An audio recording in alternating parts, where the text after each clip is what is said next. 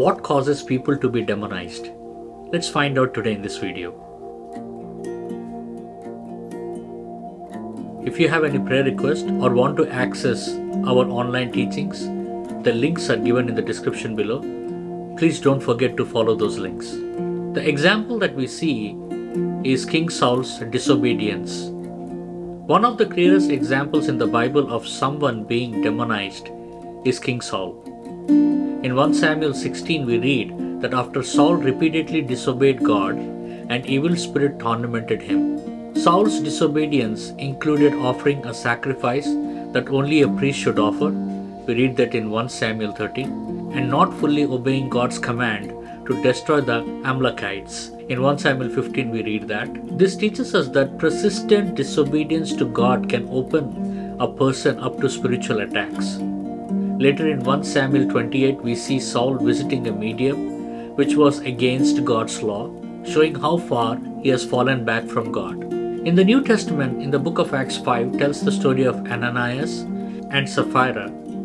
They sold a piece of property and lied about the amount they received, keeping part of it for themselves.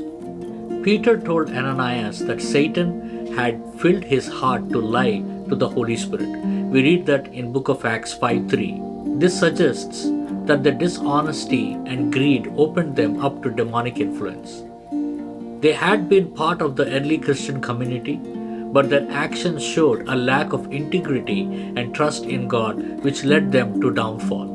Ephesians 4:27 warns us not to give the devil a foothold, and in that context, it specifically mentions unresolved anger. Holding on to anger and letting it fester can give the devil an opportunity to influence us.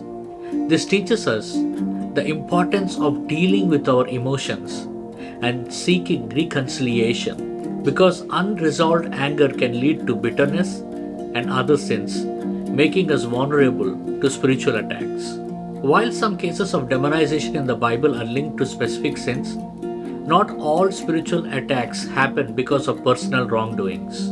We see that in the book of Job, the first chapter and the second chapter, we see that Job, who was a righteous man, was attacked by Satan. This shows us that sometimes spiritual attack can come as tests or trials. Similarly, we see Jesus was tempted by Satan in the wilderness in the book of Matthew 4th chapter, not because he had sinned, but as a part of God's plan. In the book of Ephesians 6 10 to 18 reminds us that following Christ involves spiritual warfare. Christians are called to put on the full armor of God to stand against the devil's schemes.